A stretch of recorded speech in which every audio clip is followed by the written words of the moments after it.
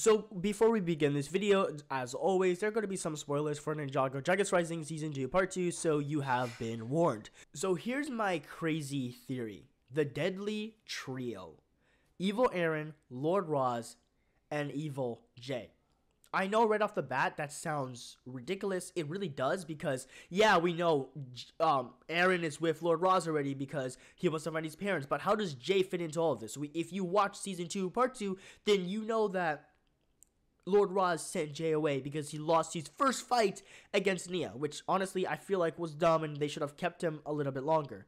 But here's the thing: Jay still, be- I believe, Jay I know still believes in Lord Roz and he will try everything he can to redeem himself because just like he said lord ras was the one that gave him a purpose is the one who got him out of that magician realm. So just lord ras simply saying he was testing jay or something like that might get him to come back. Also if Lord Ras is a smart character, then he will go after Jay. Because if the ninja get to him first, we know that somehow, some way, even though they say your soul can't come back if it's been shattered, they're gonna do it to Jay. His soul is gonna get unshattered, and then since he's on the ninja team, he's on the good side again. Now Arin might switch sides and go with the ninja because Lord Ras is just using him, and once Arin finds that out, it's endgame. But if Lord Ras was able to get Jay on his side, back on his side, Arin has no choice but to stay because those are the two people who know where his parents are. And since Jay listens to Lord Ras, he's not going to give the information away.